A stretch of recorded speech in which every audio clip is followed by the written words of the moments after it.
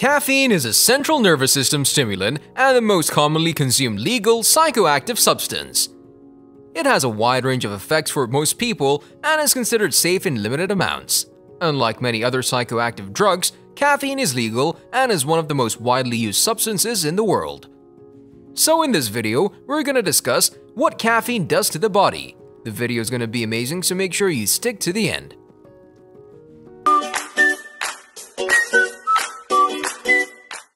Caffeine begins to affect your body very quickly. It reaches a peak level in your blood within 30 to 60 minutes. It has a half-life of 3 to 5 hours. The half-life is the time it takes for your body to eliminate half of the drug. The remaining caffeine can stay in your body for a long time. Caffeine is absorbed into the blood and body tissues. Absorption is virtually complete about 45 minutes after ingestion. The peak plasma caffeine concentration is reached 15 to 120 minutes after ingestion. Caffeine's effects will last for several hours, depending on how quickly or slowly it's metabolized by the body.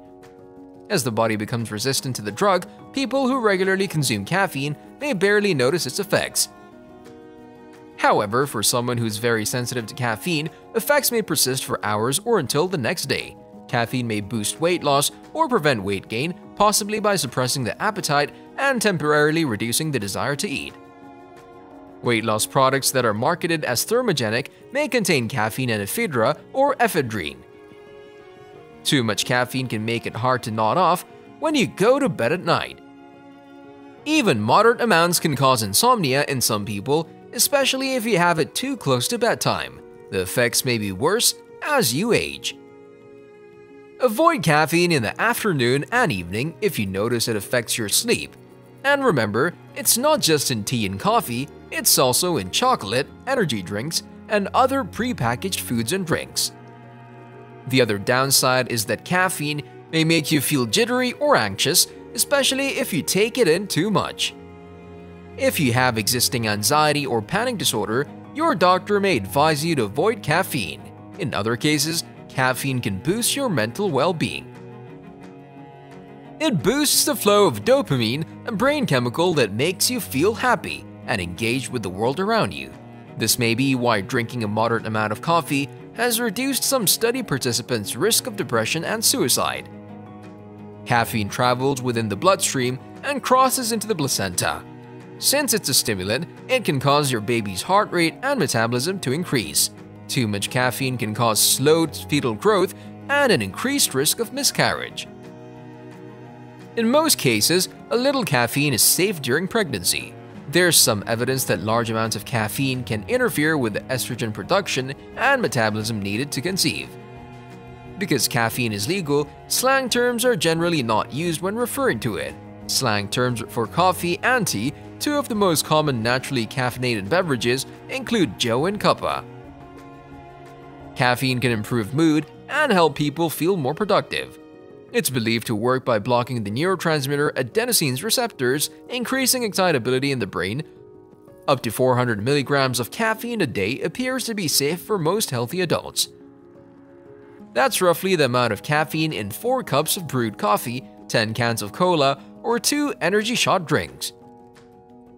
Just 1 teaspoon of powdered caffeine is equivalent to about 28 cups of coffee, such high levels of caffeine can cause serious health problems and possibly death. Caffeine works best when you take it on an intermittent, off and on basis. Higher doses can have much more potent effects. A dose of 500 mg or 600 mg of caffeine can affect you much like a low dose of amphetamine. When you consume caffeine daily, it's less effective as a stimulant. Caffeine can be used to treat some types of headaches, including migraines, some over-the-counter pain medication contains caffeine.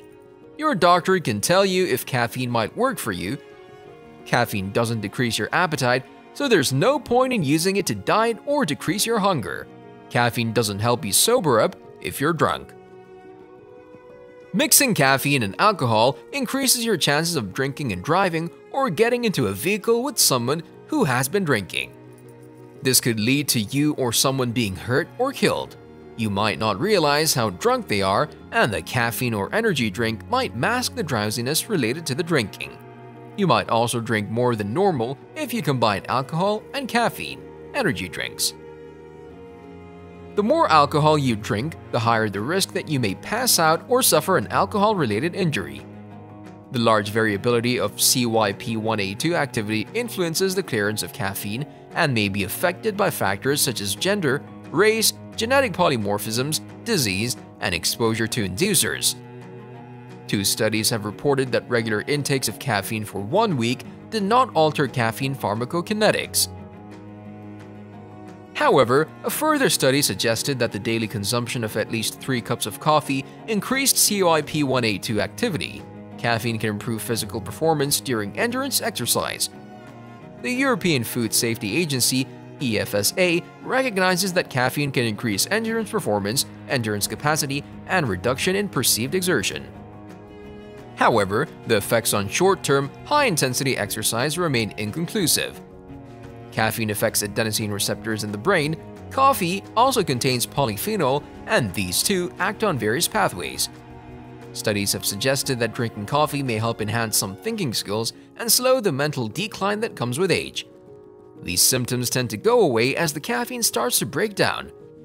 Some studies show that caffeine can help your body recover more quickly after hard exercise by making and restocking a stored form of fuel called glycogen.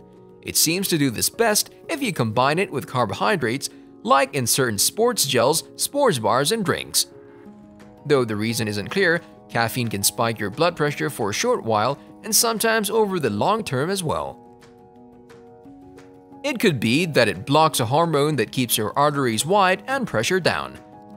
Or it might cause your body to release more adrenaline, a hormone that raises blood pressure. Study participants who drink coffee have performed better on tests. Also, older people who consume caffeine may be less likely to develop Alzheimer's disease and other age-related memory issues. You might have heard some people say that coffee gives them heartburn. Coffee does increase the amount of acid that your stomach produces. Some scientists have connected this effect to the bitter taste of caffeine.